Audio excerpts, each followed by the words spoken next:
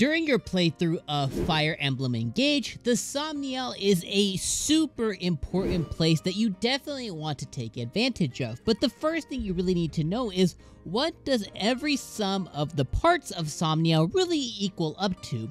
Well, in this video, I'm going to share with you 10 tips or 10 things for you to know about the Somniel to drastically improve the way you're looking at it and making sure that you get the most out of your Somniel visits after battles or trials.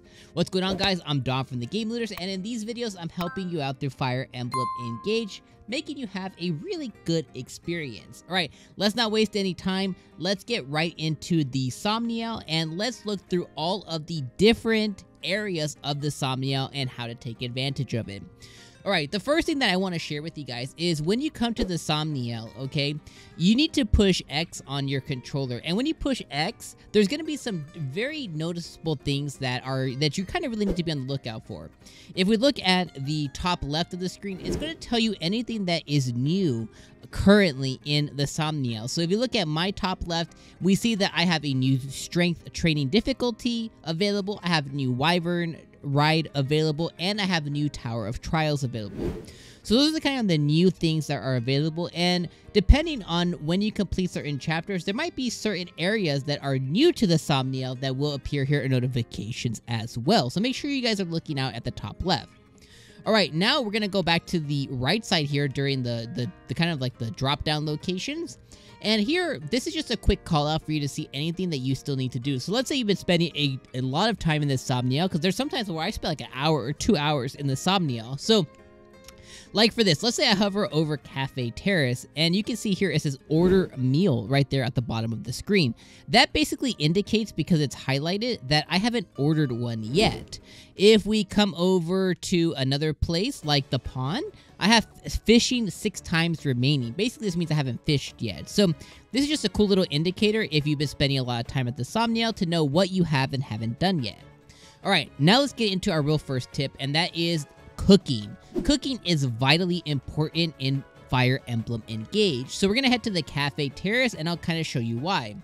So today we have Clanne at the Somniel Cafe Terrace here. He's going to be our cook for today. And ordering meals is going to allow you very specific bonuses during your next battle. And it will also allow you to increase your support level with certain characters in the game. So like, let's say right now I want to increase my support for Timerra. And let's say I also want to increase my support for... I know they don't necessarily get along, but I want to increase my support for Citrine as well. The good thing here is when you are cooking a meal, it'll always indicate the special meal of the day, which is the eager meal, which is indicated by sparkles. This is usually the one that you can always foolproof do, but if there's something specific you want to tackle, like let's say I want an effect of speed or magic, or maybe I want like a plus two for speed on my next battle, I can go ahead and make a candied fruit. But for this example, I'll just do the eager meal for today. And you can go in and add some extra ingredients. And it's always good to add, you know, a rare item as well. And this one, because this one looks like it's a crepe, I will add a fruit. And they'll go ahead and make it. So by doing this, this is going to get us some benefits here. And I'll show you that in one moment. Alright, and as you guys see here, we made a robust hot crepe, and because we added some additional items in here, not only did we get the 4 base level of what that meal gained us, we also get additional stats as well. So if you have a male character, like I'm playing with male Alear, we're also going to get strength plus 1, speed plus 1, defense plus 1, magic, and resistance. So we're going to get a plus 2 on some of the ones we already got by simply adding additional ingredients. So this is why cooking is incredibly important. So make sure that you never leave the Somniel without cooking a meal especially one to go. Alright, the next thing at the Somniel that you should be doing before you leave to your next battle or trial is strength training. Yes, yes, I understand. It's a little silly of a mini game and it does get a little tiring, but it does definitely give you some benefits. So if you look at strength training here, if we do push-ups, we get a strength increase or we get a boost to our strength in the next battle. If we do sit-ups, we get a boost to our HP and if we do squats, we get a boost to our dexterity. So make sure that as you're at the Somniel, you never leave without doing at least one of these three. If you don't know what to do, I always suggest just simply doing HP, because who doesn't need enough hit points when they're in battle? Of course, if there's something specific that you want, like you want additional strength, or if you want some additional dexterity, feel free to do whichever one here, but just know that these are the different options that you have, so make sure that you're always doing at least one of these before you leave the For our next tip, we're heading to the grotto. Alright, at the grotto, you never want to forget about Sommie, but also when you're here, make sure you pick up these sparklies. These are always going to be bond fragments inside of here, but we also want to give some love to our boy Sommie. So you can come in and simply decide, if you don't want to feed him, you can simply decide just to pet him. And the cool thing is when you love Sommie, he is going to poop out some bond fragments for you. So just, you know, always give him some love, give him some pets, that way he can get you some additional bond fragments because we're always going to want some of them. Thank you, Sommie. And just like that, we got a 100 bond fragments just from simply giving him a couple of pets. Of course, you can rotate by feeding and petting him, and if you do it enough, he'll give you some additional ones, but I suggest just doing it once or twice, giving him a feed, giving him a pet, and you should be able to get at least 100 to 200 bond fragments additionally. These are just some really easy bond fragments for you to be able to get. Alright, tip number four, we're back at the cafe and we're staying on the topic of bond fragments. Make sure that you always come and head to your bulletin board and come down to the achievements section here. Under the achievement section, you're going to have different things that you have completed. These are going to net you a lot, and I mean a lot of bond fragments. Literally, almost all the bond fragments you get in Fire Emblem Engage is going to come from this board. So never forget to do a check-in when you're at the Somniel. So like right now, I'm to hit accept all by hitting ZR. And when I do, I got over 3,000 bond fragments. Now, I don't still have a whole lot, but it's a lot more than I had before I did this. So never leave the Somniel without making sure that you do a check-in with your achievements. All right, tip number five, we are at the arena, and when we hover over the arena, you see that it says standard remaining three. You never want to do a Somniel visit after a battle or trial and not come to the arena. Basically, this is free XP. When you come here, you have two options. You can do standard or emblem. Now, if you want to increase your emblem level with a specific person or specific unit, you can do that. And if I want to come and do any bonding with one of the units here and a emblem, I can come in and do that. By hovering over each unit, over to the right, you can see what their bond level currently is with the specific emblem. So if there's someone you're trying to get a higher level with, or if there is a skill that you would like to obtain from one of the emblems, this is how you would train them. But the most important thing here is never leave without doing your standard trainings. This is going to allow you free XP for certain units that you might not be using. So like me currently, I've been putting a lot of focus on Goldmary and Citrine because I definitely want to use them more in the future, but I don't want to use them currently because they're not one of my strongest units. But if I want to go ahead and put Goldmary into the training here, it'll pick a random emblem or unit for her to face, and this will just allow me to get some free XP. And also, special tip, if you don't want to see them actually fight, just hit the plus sign on your controller, and it'll skip it, and you'll see there, now I have Goldmary, who leveled up to level 5. And that's just going to be extremely useful for you to be able to level up some of your additional characters. And like me here, I just learned a new class skill. So definitely this is very useful for you to be able to level up those units that you don't normally play with. So never leave the Somniel without doing at least your three standard trainings at the arena. The next one is the farmland area here, and we are currently here at the farmyard and I already claimed them for when I got here to the Somniel. But when you get here, if you have at least a one, one or more dogs at your stable, I typically have two or three. I recently adopted a owl, a camel, and an eagle, so I wanted to see them on my farmyard, but they're going to drop a variety of different items. But specifically, the white or the black or just the regular dog, any dog is going to drop or silver or steel for you, and you're always going to get at least 5 drops from coming over to the farmyard. Like I said, I already claimed them today, but make sure that you're always doing a visit here at the farmyard to pick up those, those ingots, the steels, those silvers, all those things that they're going to drop by having dogs. So I always suggest at the beginning of the game, always have at least as many dogs as you can. Never visit somewhere that has an adoptable dog if you don't have one and adopt one. Have at least five dogs here to increase the amount of items that you can get from just simply coming and checking into the farmyard. All right, at number seven, we have the next thing on our list, and that is support. So first and foremost, having a good grasp of where your supports are is incredibly important. So before we get into where to go in the Somniel, let's simply look at where to go. So by going to reference, you can check on your support, and if you hit here, you can check on your on your support level with different characters. So if you just want to focus on Alear, you can check out what your support level is for your different units, and you can decide to focus on whichever one you want. Consequently, you can do this for all other units amongst themselves as well, as well as you can see what units that, you know, they're simply not going to have any relationship with as they just simply won't be as part of the list. So this is just a really good reference guide. This will also show you what support conversations you have available, indicated like you see here by the yellow icon. Alright, but you're here for the Somniel, so let's talk about how to increase support level. The easiest thing you can do is go over to the pool, and I'm already right there, but regardless, go over to the pool side, and we're going to head over right here to this section. Now, the thing to know is this specific shop isn't available until after Chapter 13.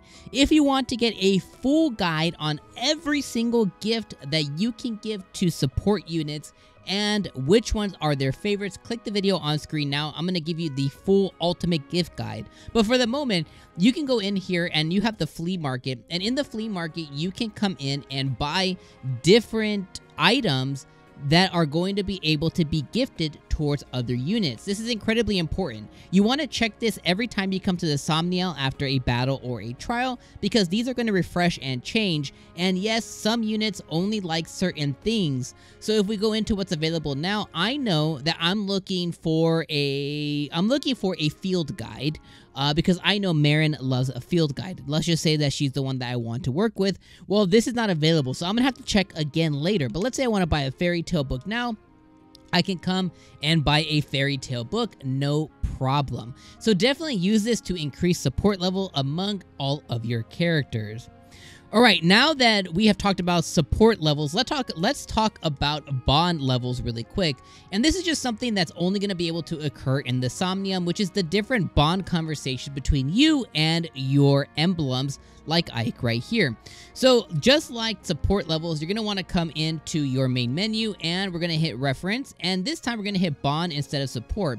This is going to show us all the different bond conversations that we have available. Like right now, Lapis has a bond conversation with Leif, and that will allow them to get into the next level. Why is this incredibly important? Well, by increasing your bond level with certain emblem rings, you're going to be able to get unique skills that you couldn't get otherwise. So it's going to be incredibly important to come in and increase your bond level amongst different emblem rings, just like I did with Lyn here and with Timerra with Lucina. And you're going to want to just kind of go in and increase these as much as you can. Now, the way to increase them is simply by engaging with the emblems on the field. And that's going to be based on your emblem rings and which specific emblem rings you have alongside your character. So, you can see here that this one has bond level 8, so I know I needed to get it above 10. This one has 11, 13, etc. So simply by engaging with your emblem rings, you'll increase that bond level naturally, but to engage in the actual conversation, you're going to want to come into your bond section and have the conversation with them here. This will also appear on your overworld map, so if you just kind of see them here, it'll tell you that they have a bond conversation available if it's with Alear. All right, at number 9, we're talking about bond rings. Early on in the game, not every character is going to be able to have an emblem ring, so that's where you're going to have to rely on bond rings. Bond rings are going to cost bond fragments, where our earlier tips will come into play. To create a bond ring, you're going to come to the pedestal here, and you're going to want to come in to create bond rings. Now, you can come in and create a bond ring for any of the emblem rings that you currently have. Early on, you'll have Sigurd, Marth, you'll have Micaiah. So you can come in and create different bond rings for them. Now, bond rings will be indicated on screen from bronze all the way to platinum. Bronze is going to inherit you one skill. Silver is going to inherit you two skills. Gold is three. And then Platinum, which is S rank, is going to get you three skills plus a potential hidden skill for each of the bond rings here. So for example, let's say I want to go and create one for, let's, let's say I want to create one for Byleth. I'll create one ring here. And this will give me a level C bond ring, which has one skill or one stat available to it. And that is okay. So you want to come in here and just kind of create a lot of different bond rings just so you have options. Because when you get a S rank bond ring, that can come equipped with a special skill that will definitely help out a lot of different players. So let me go ahead and show you kind of what the S rank one looks like. So if we come into emblem rings, and I'll just pick uh, Saphir because she was a, a character I recently got. So if we come in and we look at the Byleth's bond rings here, we can come in and see Ferdinand has a S class. So if we go in and say, okay, we want to go ahead and equip uh, him here, we can see that all the stats like strength, dexterity, speed all go up. Now, unfortunately, my bond ring for Ferdinand didn't have a special skill on it, but you can see if any of the other ones that you create possibly do. I think I have one more S rank ring in here. I don't know if that one has a skill either. Let me double check before I let you guys go. We go on to the next one. That's Elise here. Yeah, this one doesn't have a, a special skill either, but you can keep rolling for special skills. Again, this is just incredibly useful early on. Don't waste all your bond fragments, but just know that bond rings are incredibly useful. All right, the last tip for the Somniel. This one's going to become available, I believe, around chapter 5 or 6. You're going to get access to the Smithy, which is uh, weapon forging here. And that is going to be this lady right over here. And this uh, smithy is going to allow for a couple of different options. They're going to allow for refinement, engraving, and exchange. Exchange just sounds like what it is. You can exchange certain items for other ones. You can use that if you see below how I have 72 iron. If I need more, I can come and, you know, trade some steel for some iron, etc. I don't really use this too much because I have the dogs at the farmyard, but in case you need it, it is here. The other ones I want to talk about is engraving. Uh, engraving is incredibly important. Engraving will allow you to engrave a emblem on a weapon. So let's say I want to go after an axe and I want to engrave this steel great axe with a specific bond from a emblem, then I could do that here. And as you see here, the as you get more emblems, more emblem engravings will become available, and they're going to net you different abilities or different uh, stat boosts, I should say, to your weapon. So like if I were to equip the Dawn engraving here, uh, my weight will go down, my avoid will go up, and my dodge will go up. So this will make me very easy to miss certain moves. If I do an Awakening one, my hit will go up. And let's say I do the Dragon one, this is from the DLC, but my might will go up to 28. So this is just something to check in because as you get more emblem rings, you want to come and engrave some of your weapons from your favorite units onto their weapons.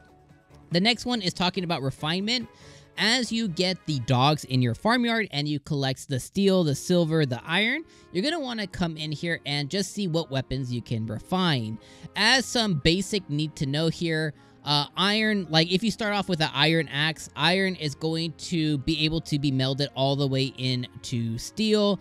Steel is going to be able to be melded all the way into silver and then it goes into the different ones that you have here. So like, let's say I have the Brave Axe and I want to get like a plus one or plus two, I can use the items and my money to get additional stats. So if you see on Brave Axe, my might can go all the way up to 11, my hit can go all the way up to 80.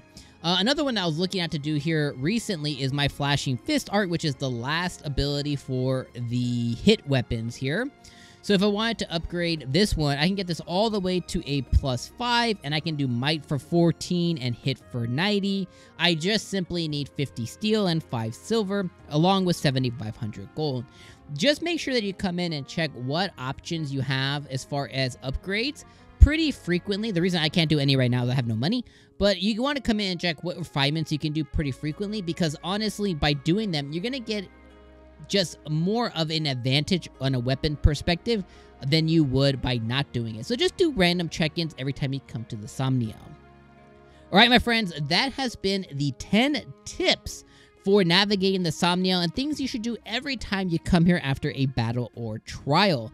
Let me know which tip was the one thing you didn't know and share any tips I didn't cover from the Somniel down in the comments below. And last thing, if you have nothing to comment, just leave an emoji so I know that you're seeing me seeing you see me. Alright my friends, like and subscribe before you leave, and of course, we'll check you out on the next Engage content. Alright, see you in the next one. Peace.